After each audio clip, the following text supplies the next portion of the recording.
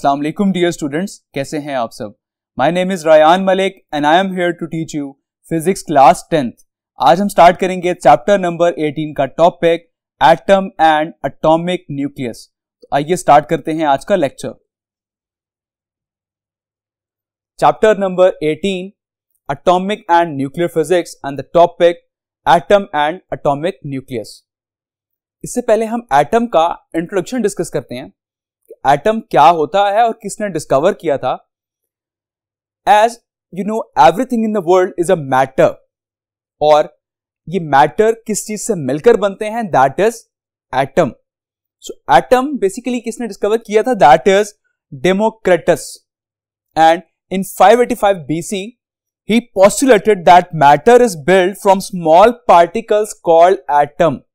कि मैटर जो है वो स्मॉल पार्टिकल से मिलकर बनता है जिसे हम कहते हैं एटम क्लियर और ये एक ग्रीक फिलोसोफर था डेमोक्रेटस तो इसका नेम आपको याद होना चाहिए ये आपसे बोर्ड में एज एन एमसीक्यू पूछा जा सकता है। क्लियर कि एटम बेसिकली किसने यहाँ पर पॉस्टुलेट किया था? That is Democritus and he postulated that atom is build from the small particles called atom okay and atom means indivisible that mean कि एटम्स को आप फर्दर डिवाइड नहीं कर सकते, ये एक स्मॉलेस्ट पार्टिकल है, इसका मतलब है indivisible clear and now the discovery of nucleus nucleus क्या होता है? एक एटम का जो सेंट्रल पार्ट होता है that is called nucleus and Rutherford discovered in 1911 that the central part of an atom is called nucleus. So, here is an other important MCQ कि nucleus किसने डिस्कवर किया था? दैट इज़ रदरफोर्ड तो Rutherford ने 1911 में discover किया था कि एक एटम का जो सेंट्रल पार्ट होता है that is called nucleus clear so अभी हम एक डायग्राम के थ्रू स्टडी करेंगे जिससे आपको ये कंसेप्ट क्लियर हो जाएगा कि न्यूक्लियस जो है वो एक एटम में कहाँ पर लोकेटेड होता है और इसके सराउंडिंग में क्या चीज़ मौजूद होती है और इसके अंदर कौन कौन सी चीज़ें मौजूद होती हैं। Clear So now, atom and atomic physics, as we discussed, कि एटम क्या है? एक मैटर का स्मॉलेस्ट पार्टिकल और इसके सेंटर में मौजूद होता है nucleus now nucleus contains protons and neutrons कि न्यूक्लियस के अंदर प्रोटॉन्स और न्यूट्रॉन्स मौजूद होते हैं, जिसको हम कलेक्टिवली कहते हैं न्यूक्लियॉन्स ओके सो न्यूक्लियस के अंदर प्रोटॉन्स और न्यूट्रॉन्स मौजूद होते हैं, जिनको आप कलेक्टिवली कहते हैं nucleons collectively called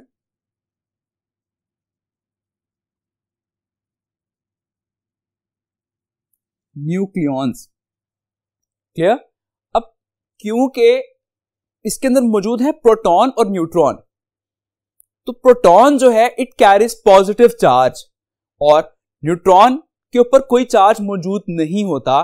so that's why हम कलेक्टिवली यहाँ पर कह सकते हैं कि न्यूक्लियस के ऊपर कौन सा चार्ज मौजूद होगा? That is positive charge clear and similarly electron is revolving around nucleus in a circular orbit के एक न्यूक्लियस के सराउंडिंग में एक इलेक्ट्रॉन रिवॉल्व कर रहा होता है और इलेक्ट्रॉन के ऊपर नेगेटिव चार्ज होता है। तो इस तरह से न्यूक्लियस और इलेक्ट्रॉन के दरमियान एक स्ट्रॉन्ग फोर्स ऑफ़ अट्रैक्शन होती है बिकॉज़ न्यूक्लियस के ऊपर था पॉजिटिव चार्ज और इलेक्ट्रॉन के ऊपर है नेगेटिव चार्ज तो पॉजिटिव और नेगेटिव के दरमियान एक strong force of attraction buildup हो जाती है. क्लियर सो इलेक्ट्रॉन कहाँ पर इवॉल्व कर रहा होता है? वो न्यूक्लियस के सराउंडिंग में जो सर्कुलर ऑर्बिट्स मौजूद होते हैं, उनमें इलेक्ट्रॉन्स रिवॉल्व करते हैं. क्लियर जैसे कि हम एक एग्जांपल डिस्कस करते हैं लाइक like कार्बन अब कार्बन के अंदर सिक्स प्रोटॉन्स होते हैं और सिक्स इलेक्ट्रॉन्स होते हैं।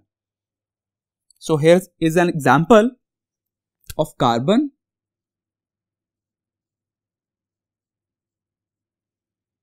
so carbon के अंदर सिक्स प्रोटॉन्स होते हैं। Basically this is the nucleus जिसमें प्रोटॉन्स भी मौजूद हैं और जिसमें न्यूट्रॉन्स भी मौजूद हैं। सो so, इसमें सिक्स न्यूट्रॉन्स होते हैं और सिक्स प्रोटॉन्स होते हैं और इसमें इलेक्ट्रॉन्स भी सिक्स हैं, जैसे कि सराउंडिंग में मैंने यहाँ पर मेंशन किया by dot one two three four five six तो ये सिक्स इलेक्ट्रॉन्स जो हैं, ये सराउंडिंग में मौजूद होते हैं। अब आप यहाँ पर सोच रहे होंगे कि ये पार्टीशन किस तरह से हुई है? बेसिकली जो न्यूक्लियस के सराउंडिंग में जो फ़र्स्ट ऑर्बिट होता है, उसमें सिर्फ़ टू इलेक्ट्रॉन्स आते हैं। तो दैट्स वाई टू इलेक्ट्रॉन्स इस शेल में हैं और जो बाकी इलेक्ट्रॉन्स हैं, वो आउटर मोस्ट शेल में मौजूद हैं। Clear now atomic number atomic number क्या होता है? अब किसी भी एलिमेंट के अंदर जितने प्रोटॉन नंबर्स होते हैं that is the atomic number of that element okay कि एक एटम के अंदर जितने प्रोटॉन्स मौजूद होते हैं, वही उस एलिमेंट का अटोमिक नंबर होता है। जैसे कि अगर हम इसी एग्जांपल को डिस्कस करें तो कार्बन के अंदर प्रोटॉन्स कितने हैं? सिक्स दैट मीन इसका अटोमिक नंबर क्या होगा? सिक्स होगा. क्लियर सो अटोमिक नंबर क्या है? That is the number of protons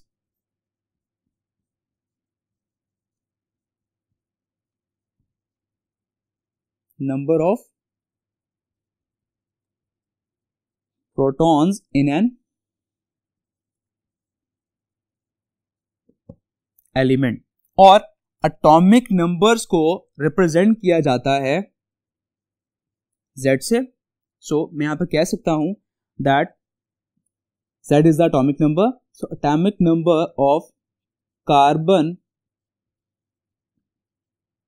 is six clear now neutron number neutron number क्या होता है कि एक एटम के अंदर कितने न्यूट्रॉन्स मौजूद होते हैं? तो जितने न्यूट्रॉन्स उसमें मौजूद होते हैं that is the neutron number of that element like अगर हम इस एग्ज़ाम्पल को डिस्कस करें तो इसमें न्यूट्रॉन्स कितने हैं?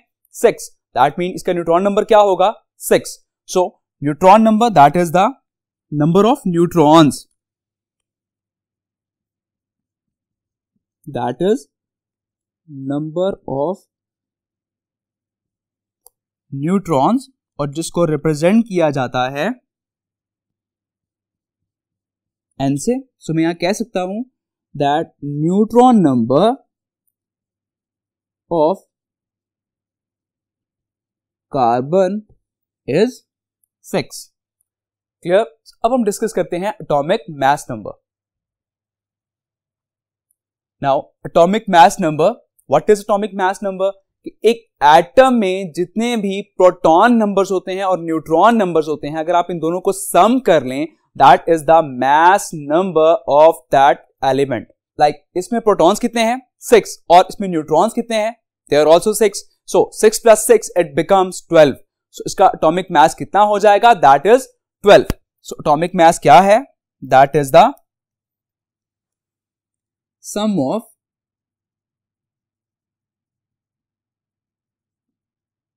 protons and neutrons clear और एटॉमिक मैस को आप रिप्रेजेंट करते हैं ए के साथ and atomic mass is equals to proton number plus neutron number और जैसे कि हम लास्ट एग्जांपल को डिस्कस करें तो इसमें एटॉमिक मैस कितना है? Atomic mass of carbon is proton numbers भी सिक्स हैं और न्यूट्रॉन नंबर्स भी सिक्स हैं। तो अगर आप इन दोनों को एड अप करेंगे तो आपके पास एटॉमिक मैस आ जाएगा that is twelve clear now the mass of neutron is nearly to that of proton कि एक न्यूट्रॉन का मैस जो है वो नियरली प्रोटॉन के इक्वलेंट ही होता है कि जितना एक प्रोटॉन का मैस है उतना ही अप्रोक्सीमेटली न्यूट्रॉन का मैस होता है। But proton is about 1836 times heavier than an electron एक प्रोटॉन जो है वो एक, एक इलेक्ट्रॉन से 1836 टाइम्स हैवियर होता है। दैट मीन इलेक्ट्रॉन्स का मैस बहुत कम होता है और एक प्रोटॉन्स का मैस जो है वो बहुत ज़्यादा होता है। दैट इज़ 1836 टाइम्स हैवियर तो ये आपसे ये आपसे एमसीक्यूज में पूछा जा सकता है कि एक प्रोटॉन का मैस कितना हैवियर होता है। That is 1836 times okay So, the mass of an atom is nearly equal to the sum of masses of proton and neutron. अब क्योंकि इलेक्ट्रॉन का मास बहुत कम होता है so that why it is almost negligible so हम ये कह सकते हैं कि एक एटम का मास कितना होगा? That is basically consist on the mass of protons plus the mass of neutrons उन दोनों के मैसेज को अगर आप एड अप कर लें तो आपके पास एक एटम का मैस आ जाएगा. Clear similarly like atomic mass को हमने डिस्कस किया that is the protons number plus neutron number कि हम इन्हीं को एडअप करके हम उसका एटॉमिक मैस फाइंड आउट कर लेते हैं। हम इलेक्ट्रॉन्स को यहाँ पर नेग्लिजिबल रखते हैं बिकॉज़ उसका मैस बहुत कम होता है। Clear atom is represented by the symbol X और आप यहाँ पर देख सकते हैं कि लेफ़्ट साइड पर बॉटम में जेड मेंशन है। Zed means atomic number and left side top में ए मेंशन है विच मींस एटॉमिक मैस तो ये एक जनरल रिप्रेजेंटेशन है कि आप किसी भी एलिमेंट को इस तरह से एटॉमिक नंबर और मैस के साथ रिप्रेजेंट कर सकते हैं। लाइक like, अगर हम इसी एग्ज़ाम्पल को हम डिस्कस करते हैं लाइक like कार्बन में सिक्स प्रोटॉन्स है मींस उसका एटॉमिक नंबर सिक्स है और उसका एटॉमिक मैस कितना है?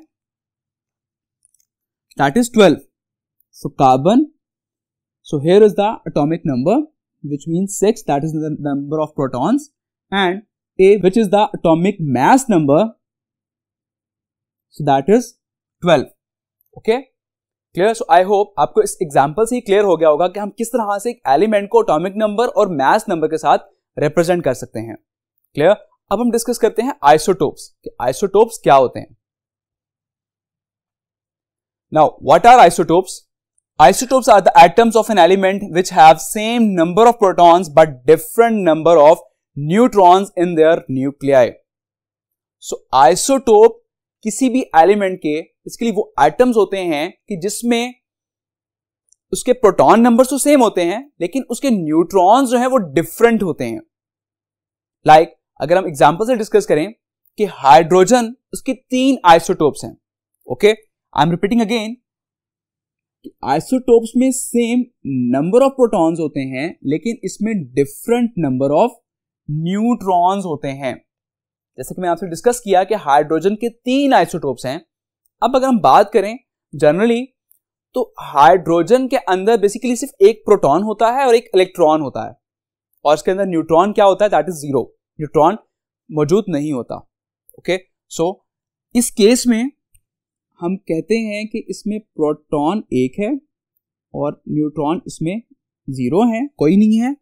सो so, इस केस में यहाँ पर इलेक्ट्रॉन्स कितने होंगे that is just one so इस आइसोटोप को हम कहते हैं that is प्रोट्रियम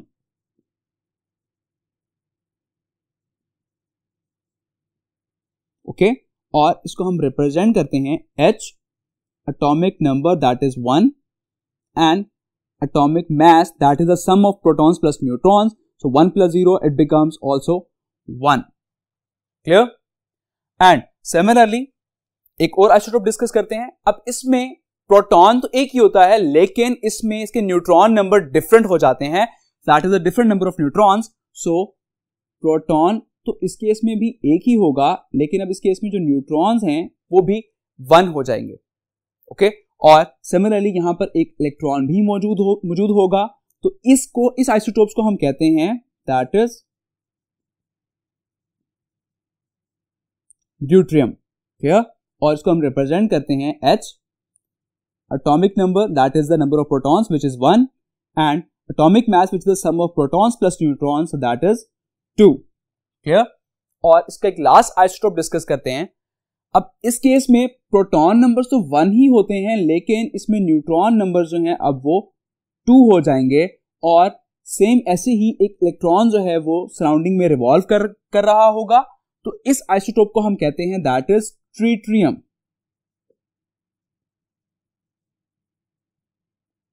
that is tritium okay और इसको हम रिप्रेजेंट करेंगे H atomic number that is 1 and atomic mass which is proton number plus neutron number 1 plus 2 it becomes 3 clear so these are the three isotopes of an element कि जिसमें atomic number तो सबके same होंगे that is one one one but mass number जो है वो different हैं. Clear so I hope ये कंसेप्ट आपको क्लियर होगा और ये लेक्चर आपको बहुत अच्छी तरह समझ आ गया होगा तो अपना बहुत सारा ख्याल रखिएगा. टेक केयर अल्लाह हाफिज.